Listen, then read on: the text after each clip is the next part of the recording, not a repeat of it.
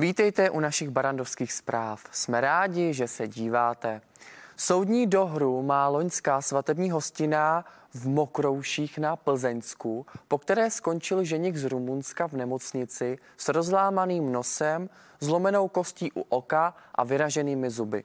Jeho dvěma krajanům nepozvaným na hostinu, kteří v noci dorazili k restauraci, kde se svatba konala a před ní podle obžaloby novomanžela skopali a zbyli, hrozí za těžké ublížení na zdraví a výtržnictví až 10 let vězení.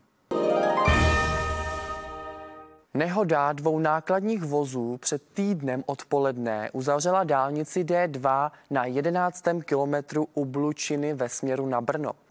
Jeden muž zemřel, druhý se středně těžce zranil. Zpěvačka Dara Rollins a fotbalista Pavel Nedvěd posunuli svůj vztah na další úroveň a už došlo i na seznamování s rodiči.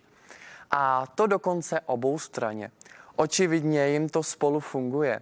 Dara Rollins kvete a veřejně prohlašuje, že našla muže, jakého vždy chtěla. Pavel Nedvěd se pro změnu odhodlal k významnému kroku a svou partnerku seznámil s jeho rodiči.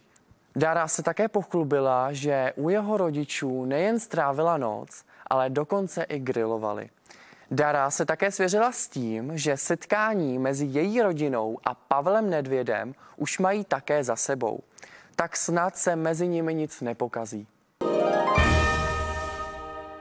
Egyptem v posledních dnech otřásla úmrtí dvou žen po žraločích útocích. V zemi evidují za posledních mnoho let je několik málo podobných případů. Při jednom incidentu podlehl i český občan. Češi podle cestovek nestratili po žraločích útocích zájem o dovolenou v Egyptě. Uklidňovat je může fakt, že podobné události se v severoafrické zemi za posledních 20 let nestávají moc často. Češi se obávají inflace, vážné nemoci a ztráty zaměstnání. Zároveň ale přehlíží riziko nízkých starobních penzí. Vyplývá to z aktuálního průzkumu České asociace společností finančního poradenství a zprostředkování. Průměrná starobní penze činila k letošnímu březnu podle údajů České zprávy sociálního zabezpečení 16 249 korun. Průměrný předčasný důchod byl 14 661 korun, průměrná invalidní penze v prvním stupni invalidity pak 8 330 korun.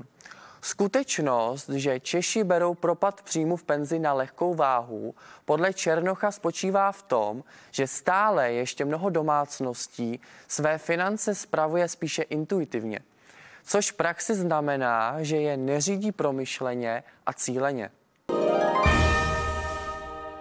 A to byla ode mě poslední zpráva.